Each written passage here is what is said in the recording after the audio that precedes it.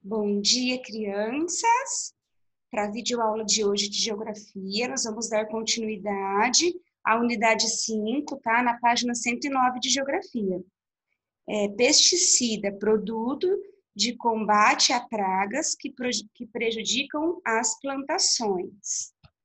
Aqui tem a imagem, né, de um veterinário aplicando uma vacina para proteger os animais contra doenças, né? A tecnologia está cada vez mais presente nas áreas rurais. Ela vem crescendo devido à demanda ligada, em muitos casos, e aparelhos como drones ou outros equipamentos utilizados por diferentes profissionais da agropecuária. Então, a tecnologia está cada vez mais presente, né? Não só com maquinários, não só com aquelas roçadeiras, aquelas colheitadeiras, né? Mas também no uso de drones, né? Para eles observarem os, os animais e as plantações, também no uso de vacinação, de produtos, de, esses produtos são venenos, né? Que eles jogam na, na, na plantação para matar os bichos, né? Em grande área de cultivo é comum vermos imagens como a apresentada a seguir, Olha o uso do drone, ó. Uso de drones na distribuição de fertilizantes, na avaliação e no acompanhamento do cultivo tem se tornado cada vez mais comum nas grandes áreas produtoras. Como são grandes áreas, eles não conseguem ir a pé. Então, com as imagens do drone, eles conseguem ver de pertinho o que está acontecendo, se está tudo bem, né? Então, eles jogam ali o fertilizante e jogam também é, esses, esses produtos, né, para matar as pragas, né, para não estragar a plantação, né? Observe a imagem anterior e responda de que forma os drones podem ser utilizados pelo agronegócio para auxiliar na produção agropecuária. Os drones ajudam os produtores, né, nessa, nessa parte de fertilização, nessa parte de de combate, de combate contra as pragas, né? E dessa forma eles conseguem é, visualizar de pertinho como está indo a plantação, né?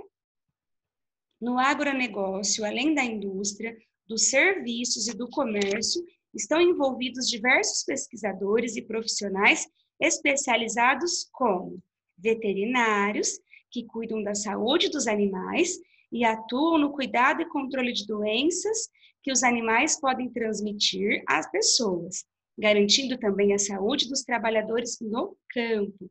Cuidar da saúde dos animais é uma forma de cuidar da saúde de todos. Tem também os agrônomos, que trabalham na melhoria e no desenvolvimento da produção agrícola. Eles são responsáveis pelo combate às pragas, pelo acompanhamento dos padrões de qualidade da produção e pela manutenção de conservação do solo. Aqui tem um exemplo de um agrônomo utilizando um equipamento para estudar e preparar o solo. Então, ele é responsável por todo esse trabalho, né? Porque não é só chegar lá, jogar semente, ah, vai nascer, não. Tem que preparar esse solo, tem que cuidar, tem que jogar fertilizante, né? Olha o outro profissional, gestor ambiental que trabalha na orientação da conservação do meio ambiente e do uso responsável dos recursos naturais. Quando uma empresa pretende explorar algum recurso ou implementar um cultivo agrícola, por exemplo, né, o gestor ambiental analisa os riscos e os impactos ao meio ambiente. Ele orienta as ações que a empresa deve tomar para garantir a conservação do local e para a, e para a recuperação da área que for degradada. Aqui tem a imagem de um gestor ambiental fazendo uma análise da água próximo a uma área de cultivo. Então, ele é responsável por cuidar também dessa parte, porque não é só o produtor sair arrebentando tudo e cortando as árvores e já explorando ali e colocando plantações, tem que cuidar também daquela preservação ali daquele ambiente, né? Vamos descobrir. Nós vamos falar dos produtos, dos produtos que nós consumimos em casa. os produtos que consumimos. Você saberia dizer quais são as matérias-primas utilizadas na fabricação dos produtos que você come? Vamos fazer uma atividade para descobrir. Cada aluno deve pensar em um produto que utiliza diariamente. Todos podem apresentar oralmente exemplos de produtos e o professor irá anotar na lousa. O professor dividirá a sala em seis grupos e cada grupo ficará responsável por uma por pesquisar as matérias-primas de um produto, utilizando recursos tecnológicos como celular ou computadores conectados à internet. Realizem uma pesquisa sobre a orientação do professor para descobrir as matérias-primas dos seus produtos. Essa aula aqui vai ser bem legal. Olha lá. Em uma cartolina, não, nós não vamos fazer em cartolina, é, a tia Elô vai fazer uma modificação dessa aula, tá? Nós vamos fazer durante a aula ao vivo, vocês vão fazer essas pesquisas e eu vou deixar todo mundo participar. Todo mundo, não tem como dividir em grupo, porque cada um está na sua casa, né? Todo mundo vai falar de um produto que consome a matéria-prima, tá? Todo mundo vai participar. É... Após a produção, nós não vamos fazer cartazes, né? Então, vamos lá.